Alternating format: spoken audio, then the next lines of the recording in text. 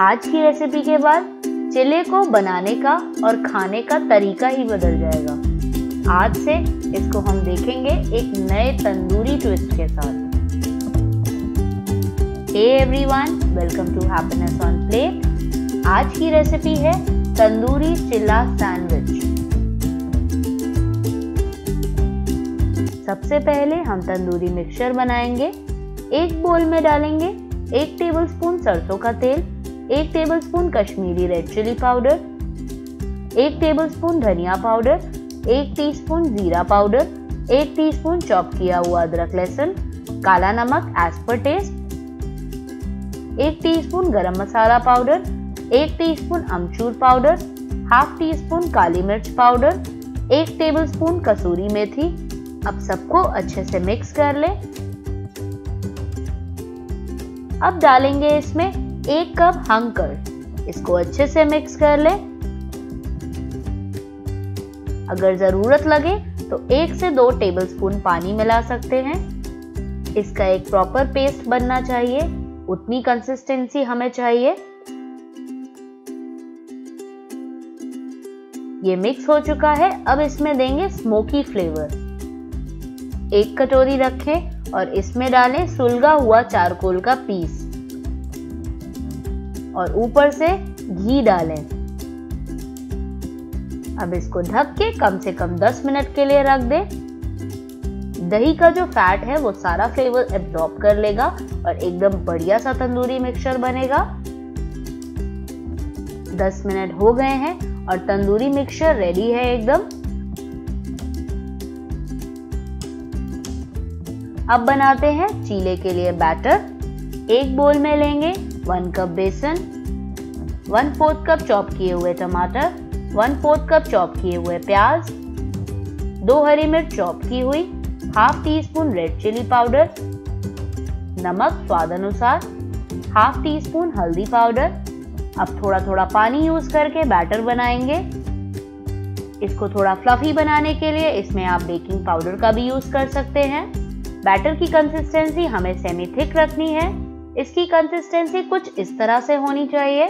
इसमें लगभग three fourth cup water use हुआ है। बैटर रेडी है, अब बनाते हैं चीला। एक तवा लेंगे और उसको अच्छे से ऑयल या घी से ग्रीस करेंगे। ध्यान रखें, तवे को अच्छे से गर्म होने दें एक बार, फिर फ्लेम लो कर दें।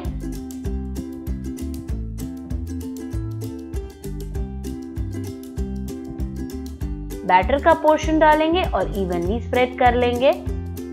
लेयर बहुत ज़्यादा मोटी नहीं रखनी है, ध्यान रखिएगा। अब ब्रेड के स्लाइसेस इस तरह से ऊपर रखेंगे और इसको एक तरफ़ से अच्छे से सिकने देंगे जब तक ये ना सिक जाए। बेसन थोड़ा पकने में टाइम लेता है। बस अब तंदूरी मिक्सचर वाली दही का नंबर आने वाला है।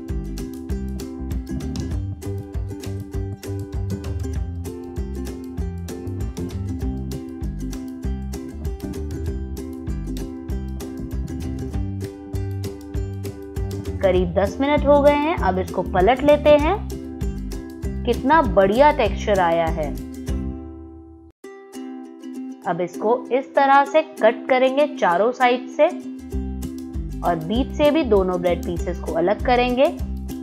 अब साइड में रखे चीले के पीसेस को ब्रेड के ऊपर रखेंगे और फिर दोनों ब्रेड पीसेस को एक के ऊपर एक रख के सैंडविच की शेप देंगे।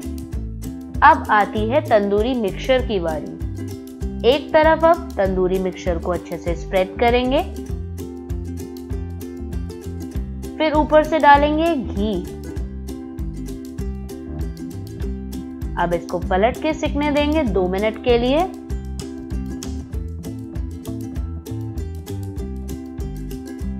अब दूसरी साइड पे भी तंदूरी मिक्सचर लगाएँगे।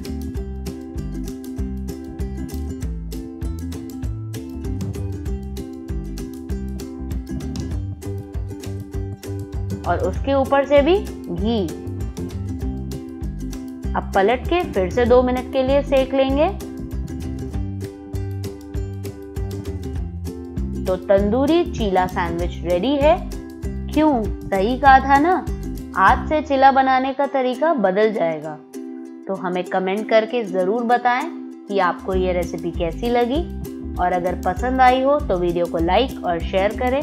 और हाँ प्लीज़ हमारे चैनल को सब्सक्राइब करना ना भूलें। जल्दी मिलेंगे एक नई रेसिपी के साथ। Till then bye bye and take care